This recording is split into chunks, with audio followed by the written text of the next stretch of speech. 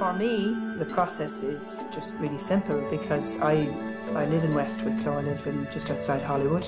Because it's such a beautiful part of the country, I, I, I walk a lot, I spend a lot of time out in nature, and so it just happened that uh, I started to pick up sticks.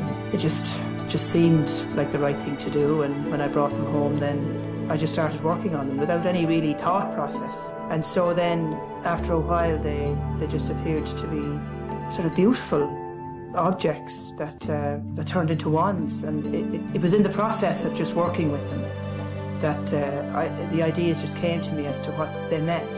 So, for instance, the very first one, I knew even before I started, knew that it was going to be for my friend, who's she's a very feminine, very beautiful woman. So the wand just turned into that, um, and so the same with the rest. You know, some of them are about fertility or creating projects. Some of them about being being grounded to the earth, so that the crystals maybe that go with them, or the pieces that are added, or the shapes that appear. Some of them are in like animal power, like foxes or, or horses. They just appeared in, in in the making of it. It just seemed to just happen as to to what they became without, as I say, any any really thought process. And I, I believe because of that, they, they just turned into these just magical nature's wands.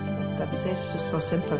And you know, when people buy one of these, what happens is that they come with you know their own box, which is also handcrafted. Uh, but there is a way of, of clearing them so that you make them your own, uh, and that you just pl- you place your own power in them. And uh, after that, it's it's just magic, really.